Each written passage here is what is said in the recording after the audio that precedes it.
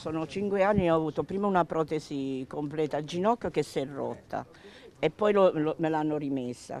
E io abito al primo piano rialzato e ogni tanto scendo con le stampelle, ma adesso è peggiorato perché col Covid non ho potuto fare la fisioterapia, è tutto chiuso, dovevo fare, dovevo fare la piscina, tutte...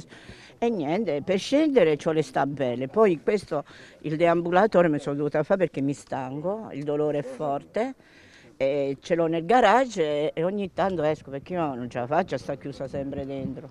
La palazzina mia sono, sono tre signore, stanno sopra perché non sono potute scendere. E io, noi facciamo questa domanda 15 anni fa perché a fianco a me la signora è morta, stava proprio sulla sedia a rotelle e, quindi stiamo aspettando, non ho, non ho, più la fiducia. A raccontare la storia infinita dell'attesa di un ascensore ai civici 40, 42 e 44 delle case Gescal di via Valle San Mauro a Pescara è la signora Amelina La Sorsa, un'inquilina degli appartamenti Ater in questione con problemi di deambulazione. Come lei, tanti altri anziani e disabili segregati in casa per l'assenza di un ascensore atteso da anni.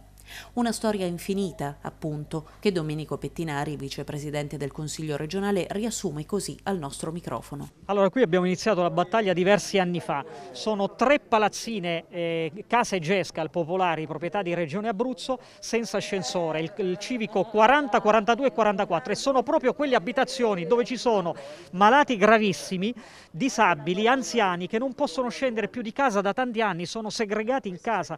Quindi la situazione è gravissima. Noi io sono riuscito a vincere un pezzettino di questa battaglia perché al bilancio di previsione del 2021 ho fatto stanziare 150.000 euro dalla Regione Abruzzo, quindi i soldi ci sono. L'Ater ha fatto il progetto, quindi è tutto pronto, si è intoppato tutto al trasferimento, cioè le somme non vengono trasferite dalla Regione all'Ater. Chiediamo al Presidente di Regione, all'assessore regionale al bilancio l'Iris di sollecitare la regione, i loro uffici a fare questo benedetto trasferimento, perché si sta parlando di riprogrammazione dei fondi europei, perché sono fondi, soldi che vengono dai fondi europei, la riprogrammazione si fa in un'ora, non dobbiamo aspettare mesi, mesi e mesi e mesi per la riprogrammazione delle risorse europee, perché la gente qui non ce la fa più, la gente è gravemente malata. E l'Ater può iniziare immediatamente a installare questi tre ascensori. L'assurdo poi, mi si lasci dire, che i palazzi, le, i palazzi prima e i palazzi dopo di questi tre civici hanno l'ascensore installato già 15 anni fa, non si capito perché hanno fatto figli e figliastri una disparità di trattamento e hanno tenuto fuori proprio queste persone che hanno gravi patologie e gravi disabilità.